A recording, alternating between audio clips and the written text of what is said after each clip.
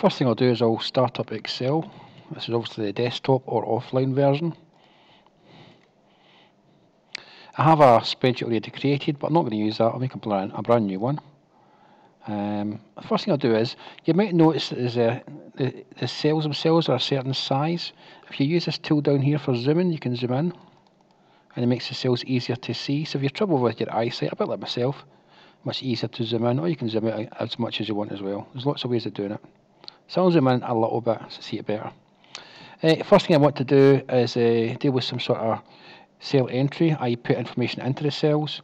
I'm going to do things related to totals. It doesn't really matter what the totals are all about. Um, I'll give them different sort of names. So let's call this shop one total. That's a nice bit of text there. Make it bigger so the cell fits in. I'm going to copy and paste there to there and change that to shop 2 total and the same thing here. Copy paste and then shop 3 I'm using the quick keys by the way control C uh, is a copy. If you right click there's copy obviously and paste is in there too. So I'll control C this and then control V that there. So that gives me four different shop totals which to me looks okay. Um, every single shop will have various items in it. I'm going to take all these just now and move them all down a little bit. Control X, Control V, just using the copy paste options or cut paste in this case. So in the shop here, there'll be lots of different numbers. So let's say, um, I make it easy numbers to understand, nothing with decimal points yet. We can put decimal points in later. So there's lots and lots of numbers there. Um, and I'll put more numbers over here. So let's say, I'm just putting random numbers in as random as a person can be.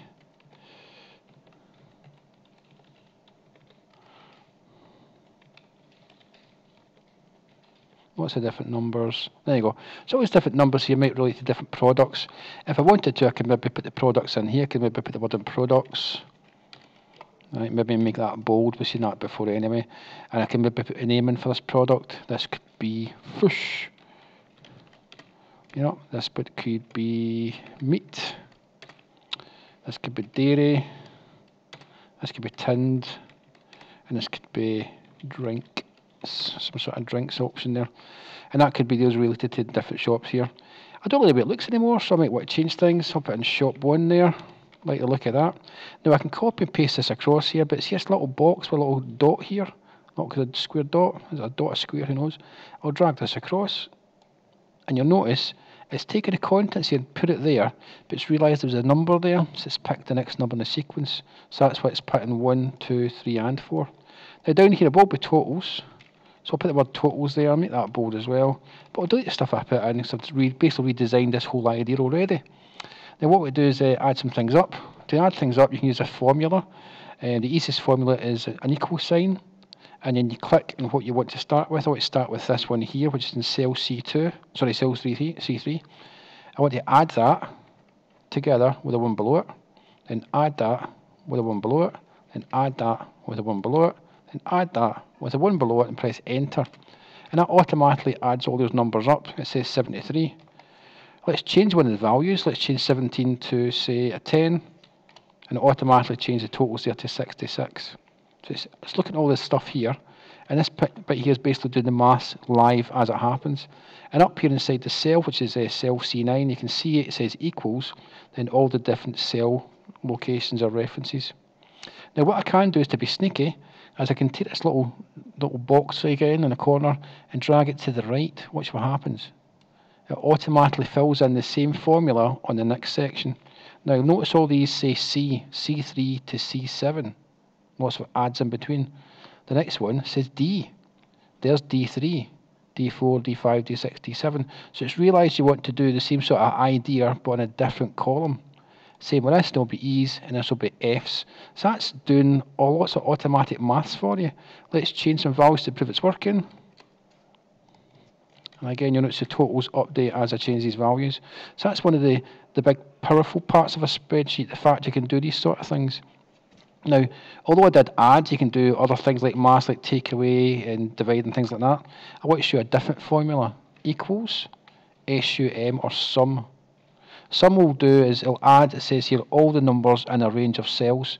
So open a curved bracket, which is a shift 9, select the first, but hold on with the mouse button to get to the end and then close the curved bracket which is shift uh, 0. So you notice it says C3 colon C7.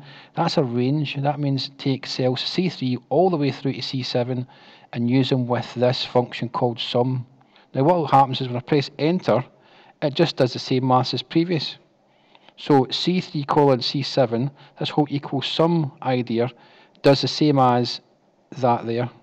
So I'll drag this little sum across you notice the numbers don't change. All it does is I've shown you a different way of adding up numbers. So sum is the sum of numbers, which means it adds lots of numbers together, which is quite a, a good uh, concept when you think about it. And what we'll do is I'm going to highlight that section there, change all the things to that.